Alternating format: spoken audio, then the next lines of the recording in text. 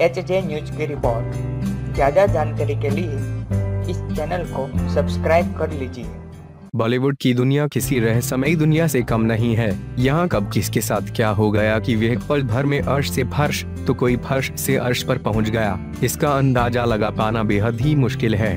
ग्लैमरेश की चक्का चौंध में कई ऐसे नाम है, जिनका रोशन चेहरा अब नहीं दिखता। यही नहीं, कुछ तो ऐसे भी जो एक समय में सिनेमा की जान हुआ करती थी, लेकिन आज वो भीड़ भाड़ में खोई खोई सी दिखती है। दरअसल ऐसा एक नाम है एक ट्रेस मीनाक्षी शेषाद्री का, जिन्होंने दामिनी, घायल, गंगा जमुना सरस्वती शहशाह जैने चर्चित फ़िल्मों में मशहूर अभिनेताओं के साथ काम किया। लेकिन आज ऐसा लगता है जैसे उन्होंने बॉलीवुड से अपना नाता ही तोड़ लिया है।